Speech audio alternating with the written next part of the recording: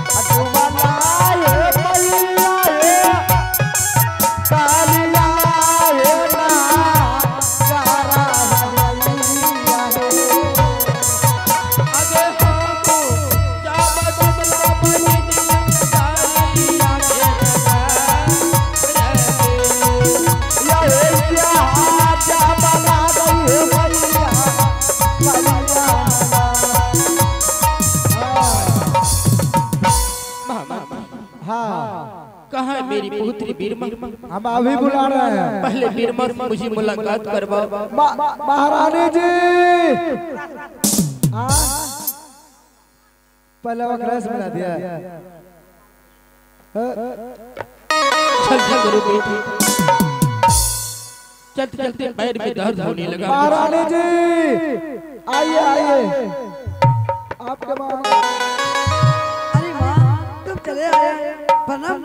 माँ जी थी बेटी बेटी हाँ माँ जिस तुम जोगी फकीर को मुझे पहचान पहचानने के लिए बुलवाई हो बेटी वो कहाँ है जोगी फकीर मुझे जल्द से मुलाकात करवाओ माँ उस हरामजादे को मैंने किल ठोक करके कारागार में डाल दिया है।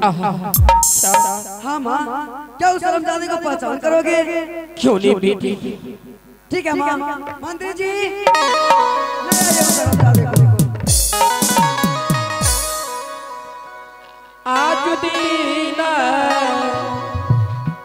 देखैबे के दुलारी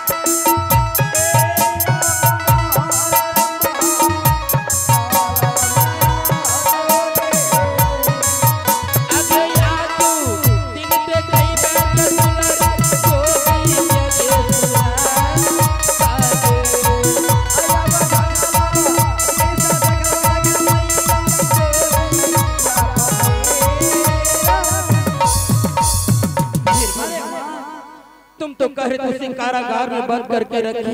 कहा है अरे माँ पाचे को करने को यही जो की फ़िक्र है।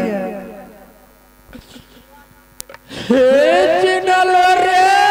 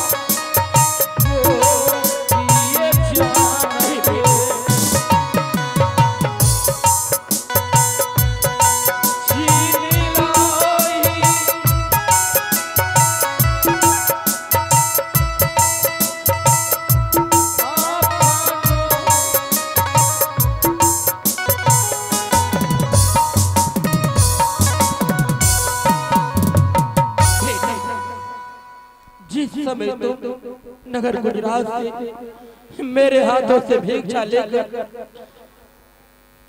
आ रहे थे समझाया था मैं तुम्हें बहु। नगर बस्ती में भीख दुख मांग कर खाना बेटा परंतु बिरमा के दरवाजे पर नहीं जाना। आज ना जाने बिरमा ने तुम्हारा क्या हालत बना रखा है पुत्र? भारी हलतिया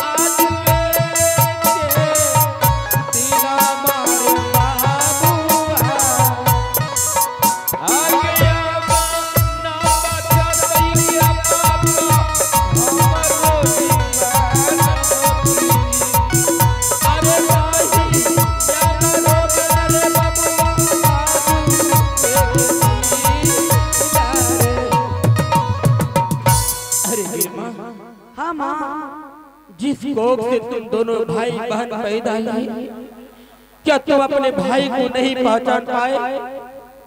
अरे माँ मैं कैसे पहचानती माँ हम तो यही सोच रहे थे कि मेरा भाई आएगा जब मेरे द्वार पे तो हाथी हाथसार घोड़े घोड़सार से आएँगे मेरे भैया तो जोगी महात्मा बनकर तो नहीं आएँगे। अरे हरामजादी तूने अपने भाई को नहीं पहचान सका।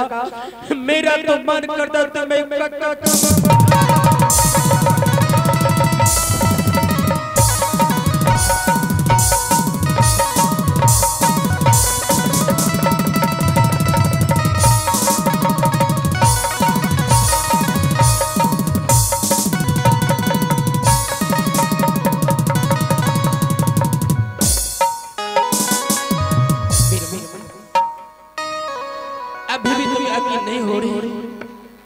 तुम्हारा भाई।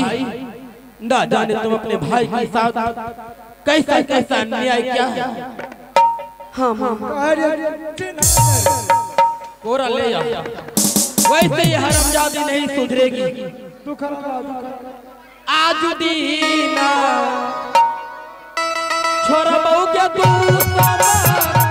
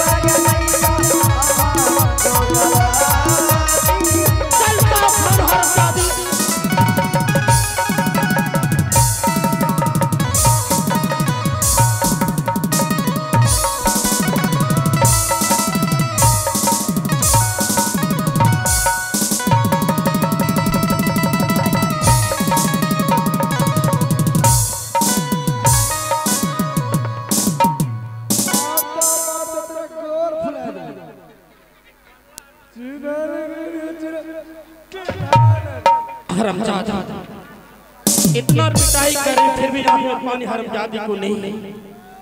अगर माफ़ी मांगते अपने भाई के चरणों में जाकर गिरो। समझी? ठीक है, माँ।